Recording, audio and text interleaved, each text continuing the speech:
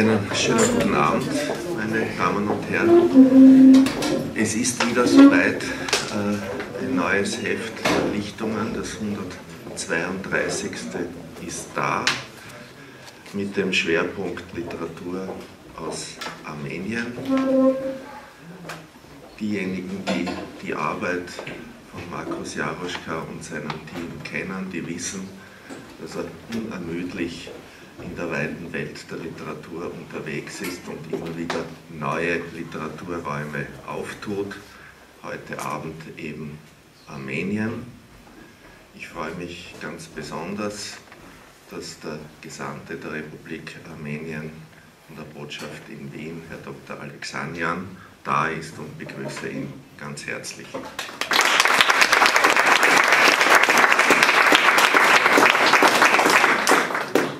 Dr. Alexanian, Helwig Brunner wird das vielleicht nachher noch genauer sagen, ist selber Übersetzer. Er hat unter anderem Rilke und Musil übersetzt, hat also zur Arbeit einer Literaturzeitschrift eine nicht nur professionelle, sondern auch emotionale Beziehung. Äh, Sie wissen, wie das äh, Jahr für Jahr abläuft. Die Dichtungen, die viermal im Jahr erscheinen, werden zweimal im Kulturzentrum bei den Minoriten präsentiert, zweimal hier bei uns im Literaturhaus. Und ich freue mich sehr über diese Kooperation, die unsererseits natürlich äh, ad infinitum fortgesetzt werden soll. Ich freue mich sehr, eine Arbeit unterstützen zu können seitens des Literaturhauses, die unglaublich wichtig ist für das Kulturgeschehen der Stadt und des Landes. Ja, äh, damit ist meine Rolle erschöpft und ich übergebe an Helwig Brunner. Äh, Sie kennen ihn, er ist Autor, in erster Linie Lyriker und im äh, Herausgeberteam der Lichtungen und er wird Sie durch den heutigen Abend führen. Ich wünsche Ihnen viel Vergnügen.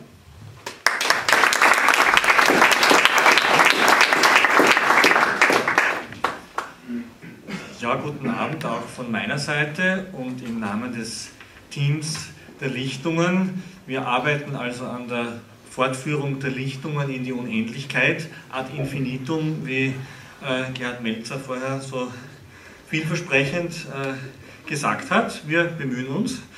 Äh, ja, ich begrüße Sie herzlich, bedanke mich sehr für das wieder einmal sehr zahlreiche erscheinen. Wir dürfen uns ja wirklich freuen bei den Lichtungen, dass unsere Präsentationen in der Regel wirklich gut besucht sind. Das freut uns und ehrt uns und ermutigt uns auch, diese Form der Präsentationen fortzuführen. Besonders begrüßen äh, darf auch ich unsere Gäste, äh, einerseits den bereits erwähnten Herrn Gesandten Dr. Alexanian und andererseits an seiner Seite den Übersetzer Herbert Maurer, der diesen Armenien-Schwerpunkt äh, maßgeblich und federführend äh, gestaltet und betreut hat. Davon wird später noch zu reden sein. Und natürlich nicht zuletzt Herrn Amen Shegoyan aus Jerewan, der ein Stück armenische Literatur heute zu uns nach Graz bringt. Außerdem sind einige im Heft vertretene Autoren heute bei uns. Als erstes darf ich äh, Thomas Klein erwähnen, der auch dann äh, aus seinem Text äh, ein bisschen lesen wird. Äh, dann ist ah, Florian Labitsch ist glaube ich nicht da, er hat sein Kommen. Ist er doch da? Danke, Entschuldigung, ich bin geblendet, nicht von Florian Labitsch, sondern vom Licht. Herzlich willkommen auch Florian Labitsch. Äh, und äh, François Grosso ist extra aus Wien zu uns gekommen. Äh, und natürlich der Reinhard Lechner, auch ein alter Freund der Lichtungen, wenn ich das so sagen darf. Ja, und ich hoffe, ich habe jetzt niemanden übersehen, vergessen oder sonst wie nicht erwähnt. Sie mögen mir das gegebenenfalls bitte verzeihen. Äh, sehr herzlich begrüßen möchte ich auch Herrn Kulturabteilungsleiter Magister Schnabel, der heute zu uns gekommen ist. Wir freuen uns sehr, dass uns so viel Wohlwollen und Interesse auch von Seiten der Kulturabteilung immer wieder entgegengebracht wird. Das ist ja für uns als Literaturzeitschrift auch ganz, ganz wichtig, dass wir diesen Rückhalt bekommen. Ja, es ist Usus, dass zunächst das Heft im Ganzen kurz vorgestellt wird und dabei vor allem auch jene Inhalte erwähnt werden, die dann im weiteren Verlauf der Veranstaltung äh, nicht mehr vorkommen. Der Armenien-Schwerpunkt, das Herzstück dieser Ausgabe sozusagen, wird dann ja in der Folge gesondert äh, vorgestellt und besprochen. Was ist also sonst alles in diesem Heft enthalten? Wir haben wie immer einen offenen Literaturteil, der unter anderem eine Erzählung unseres ehemaligen Stadtschreibers Fiston Wanzer enthält, außerdem eine Erzählung von Florian Labitsch, der vorhin schon als Nichtursache meiner Blendung äh, genannt wurde.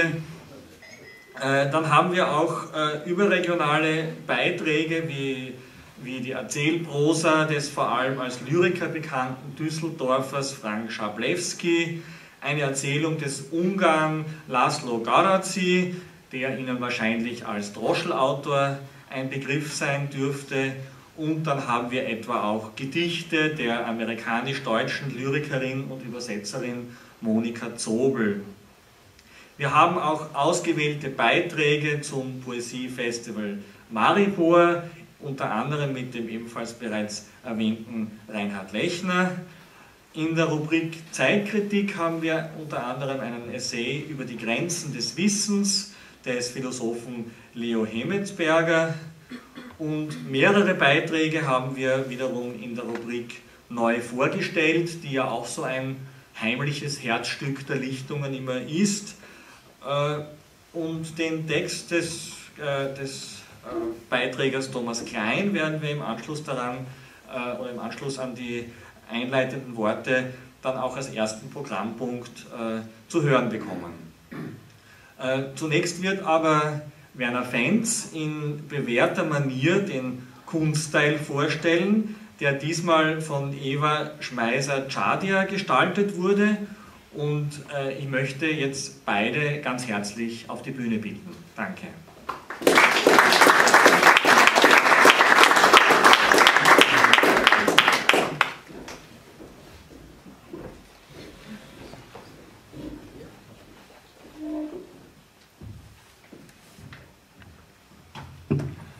Guten Abend.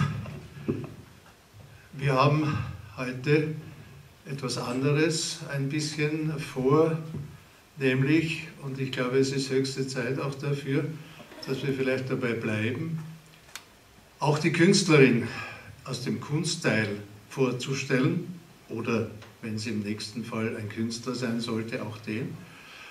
Und äh, ich denke, das ist äh, sehr wichtig, äh, dass Sie auch äh, neben den Literatinnen und Literaten die Künstlerin kennenlernen. Eva Schmeißer-Chadia, sie wurde bereits erwähnt. Ich ganz kurz, äh, warum dieses Heft so aussieht, wie es aussieht, äh, das ist äh, Evelyn Kraus äh, mit zu danken, aber auch dem Michael Neubacher, der ja wie immer auch die Grafik gemeinsam mit Eva Schmeißer-Chadia diesmal gemacht hat.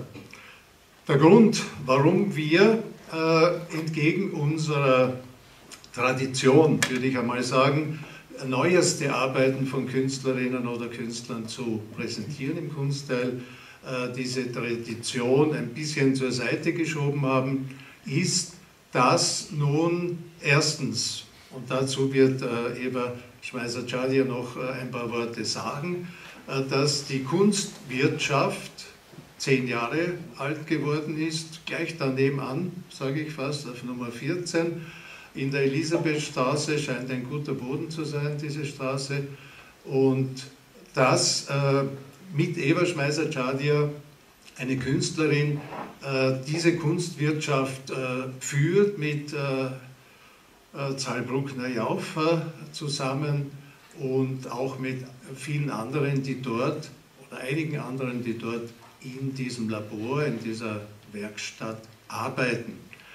Sie ist als Vertreterin ausgewählt worden, weil sie ja, glaube ich, sehr gut diese Grazer Tradition des Schmucks. Man hat von einer Grazer Schule des Schmucks auch gesprochen und spricht auch weiterhin davon, weil eine Besonderheit hier in Graz äh, im Schmuckobjekt äh, oder in den Schmuckobjekten zutage tritt. Und diese Besonderheit ist, dass der Schmuck, der ja traditionell äh, ganz äh, am engsten als künstlerisches Produkt am engsten mit dem Körper verbunden ist, dass dieser, äh, diese Verbindung Schmuck-Körper hier in Graz aber eben äh, ganz besondere Ausprägungen erfahren hat.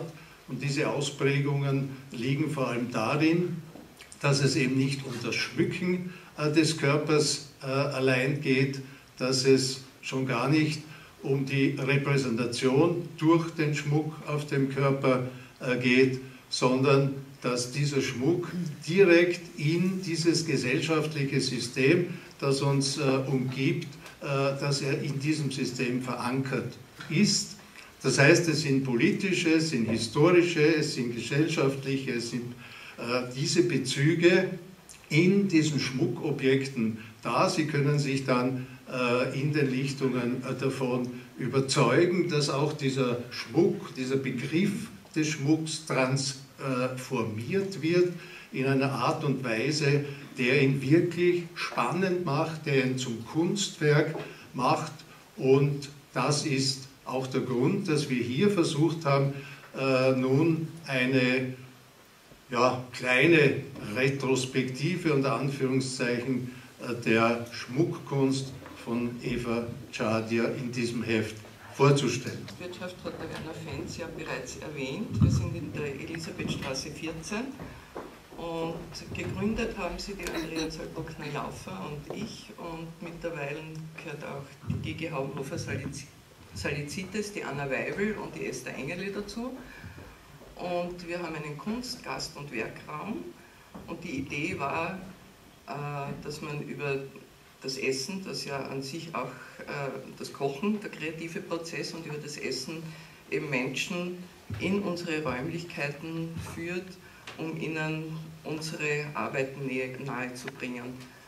Ähm, das Schöne an diesen, wir haben im vergangenen Jahr hat der Clement Setz einen Text exklusiv für uns, für die Kunstwirtschaft verfasst, zu dem wir 36 Künstlerinnen und Künstler eingeladen haben, eine Arbeit zu bringen.